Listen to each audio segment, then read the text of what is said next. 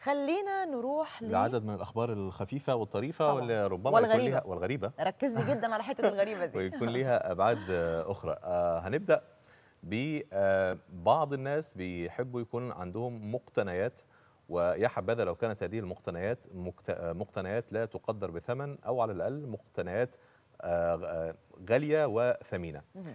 جوهرة نادرة آه، هي جوهرة ممكن بنشوفها في المحلات الجواهر والمجوهرات لكن الجوهرة دي مختلفة شوية لأنها تقيلة. مهم. آه، كشفت عنها شركة أحجار كريمة في سريلانكا.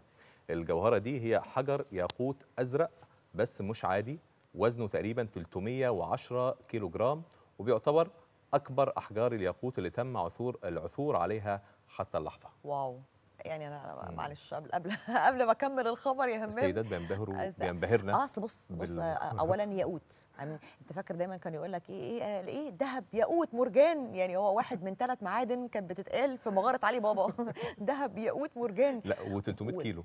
300 310 كيلو الو- مم. آه، 300 كيلو الوزن وزائد اللون نفسه ده. بيور ده ده خام طالع منظره أنا لفت نظري يا منى إن هو واحد اللي بيمتلكها مش جهة يعني. آه. هو بيقول لك طبعا إنه اصحاب الحجر ده عشان يتأكدوا من معرفة يعني عشان يتأكدوا منه من البيوريتي بتاعته أو من درجة نقائه استعانوا بالهيئة الوطنية للأحجار الكريمة والمجوهرات الموجودة في سريلانكا.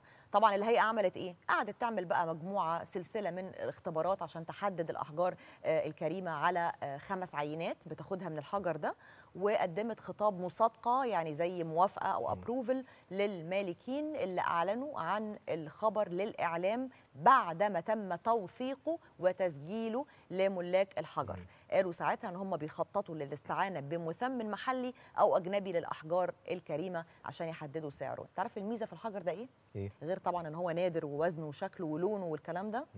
يعني أعتقد صعب قوي يتسرق منهم. لا ما ممكن هيكسروه أكيد يعني. أيوه بس مين بقى؟ حرامي هيدخل يقعد يدقدق في الحجر وي... لا لو حجر زي ده يدخل ده إيه، عادي عادي؟ جدا. طيب.